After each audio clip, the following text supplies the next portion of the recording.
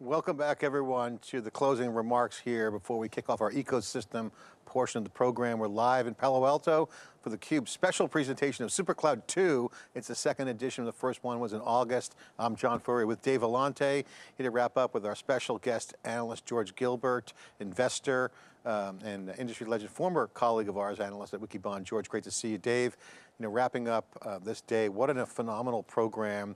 We had a contribution from industry, uh, vendors, industry experts, practitioners, and customers building and redefining their company's business model, rolling out technology for super cloud and multi-cloud, and ultimately you know, changing how they do data. And data was the theme today. So very, very great program. Before we jump into our favorite um, parts, let's give a shout out to the folks who make this possible. Free content's our mission. We'll always stay true to that mission. We want to thank VMware, Alkira, Chaos Search, and Prosimo for, for being sponsors of this great program. We will have SuperCloud 3 coming up in a, in a, in a month or so, or two months. We'll see, or sooner, we'll, we don't know. It'll be more about security, but a lot more momentum.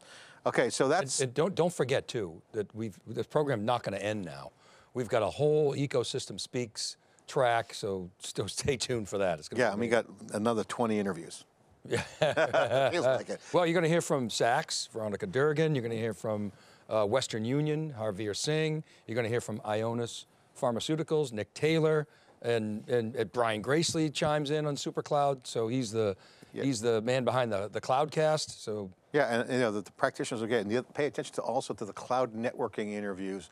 A lot of change going on there that's going to be disruptive and actually change the landscape as well. Again, as SuperCloud progresses to be the next big thing, if you're not on this next wave, you'll driftwood, as Pat Gelsinger says. Yeah. To kick off the closing segments, George Dave, this is a wave that's been identified. Again, people debate the word all you want, SuperCloud. It is a gateway to multi-cloud eventually. It is the standard for new applications, new ways to do data. There's new computer science being generated and customer requirements being addressed. So it's the confluence of you know, tectonic plates shifting in the industry, new computer science, seeing things like AI and machine learning and data at the center of it, and new infrastructure, all kind of coming together. So to me, I, that's my takeaway so far. That is the that is the big story, and it's going to change society and ultimately the business models of these companies. Well, we've had, you know, you think about it, we came out of the financial crisis, we've had 10, 12 years, despite COVID, of tech success right? And just now, CIOs are starting to hit the brakes. And, and so my point is, you've had all this innovation building up for a decade, and you've got this massive ecosystem that is running on the cloud, and the ecosystem is saying, hey, we can add even more value by tapping best of breed across clouds, and you've got customers saying, hey, we need, we need help, we want to do more, and we want to point our business and our intellectual property, our software, our tooling, at our customers and monetize our data. So you have all these forces coming together and it's yeah. sort of entering a new era. George, I want to go to you for a second because you're a big con contributor to this event. Um, your interview with Bob Muglia with Dave was, um, I thought, a watershed moment for me to hear that the data apps, how databases are being rethought, because we've been seeing a diversity of databases with Amazon Web Services, you know, promoting no, no one database rules the world. Now it's not one database kind of architecture, that's fueling these new apps. What's your takeaway from this event? So if you, you keep your eye on this North Star where instead of building apps that are based on code, you're building apps that are defined by data coming off of things that are linked to the real world, like people, places, things, and activities.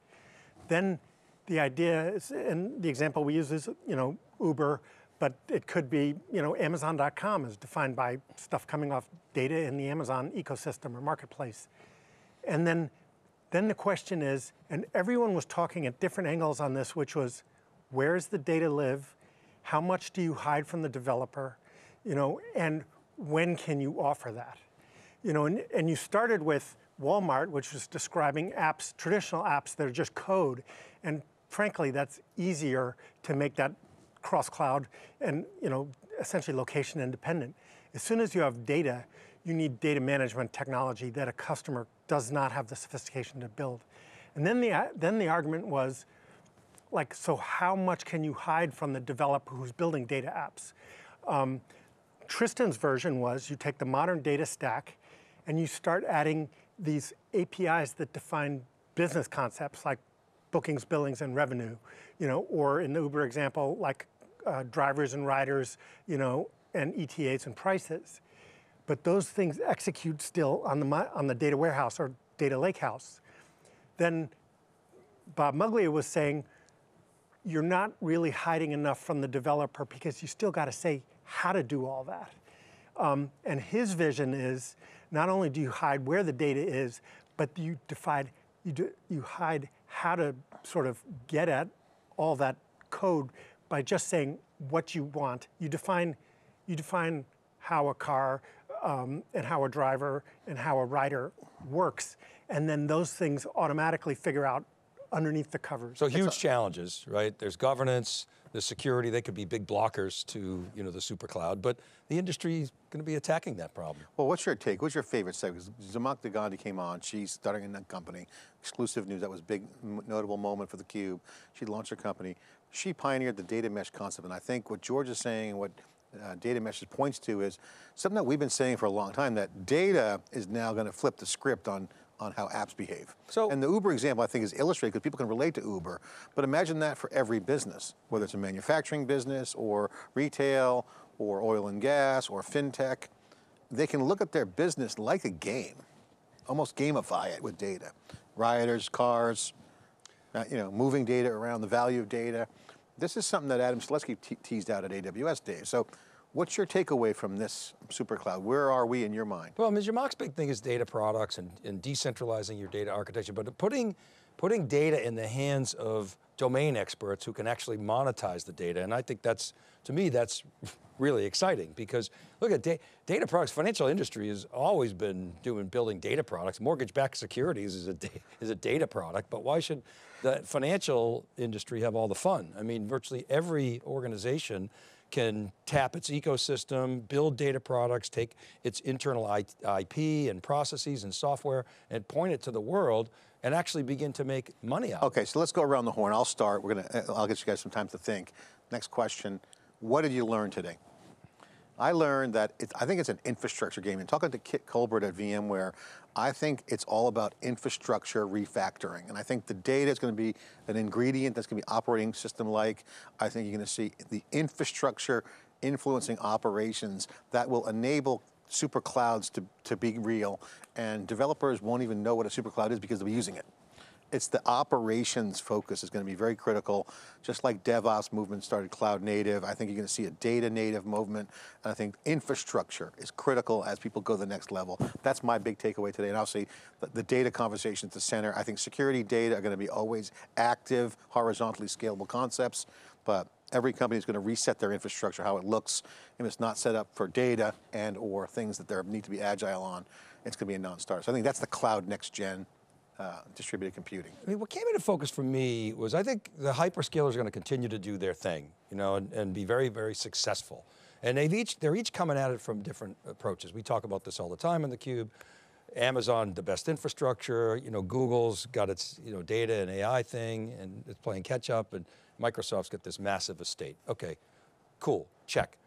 The next wave of innovation, which is coming from data, I've always said follow the data, that's where the, that's where the money's going to be, is going to come from other places. People want to be able to, organizations want to be able to share data across clouds, across their organization, outside of their ecosystem, and make money with that data sharing. They don't want to FTP it anymore. I got it, you take it.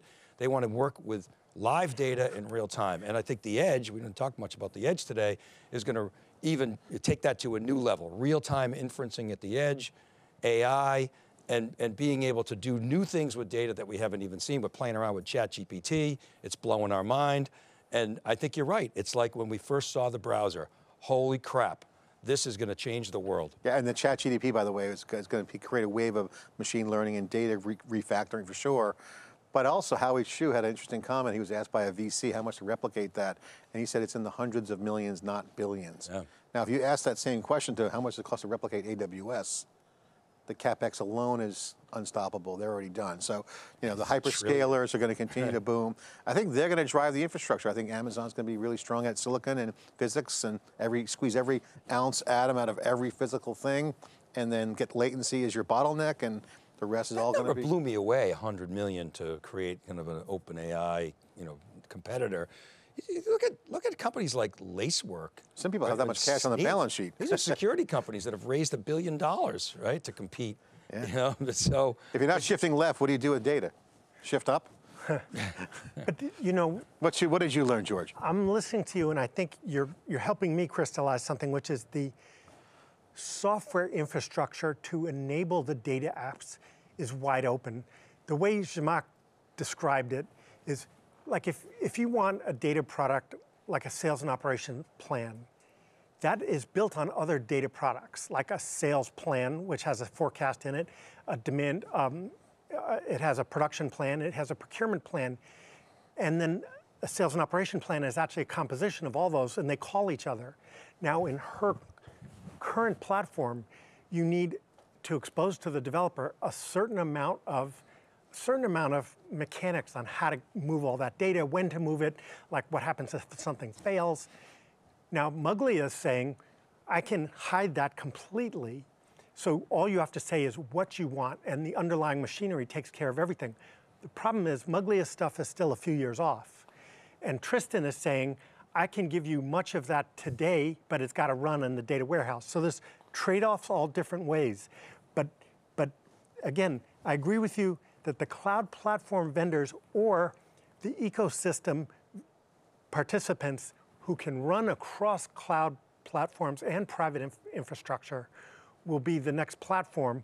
And then the cloud platform is sort of where you run, run the big honking centralized stuff where someone else manages the operations. Yeah, but Sounds like middleware to me, Dave. The key is, I'll just end with this. The key is being able to get to the data, whether it's in a data warehouse or a data lake or a S3 bucket or an object Yes. store, Oracle database, whatever. It's got to be inclusive. That is, is critical to, to, to execute on the vision that you just talked about because that data is in different systems and you're not Right. going to put it all into some new system. So creating middleware in the cloud? That sounds what it sounds like to me. Like, you discovered PaaS. And, and, It's a super PaaS. but it's, it's platform services because PaaS connotes like a tightly integrated Yeah. platform. Well, this is the real thing that's going on. We're going to see how this evolves. George, great to have you on. Dave, thanks for the summary. I enjoyed this segment a lot today.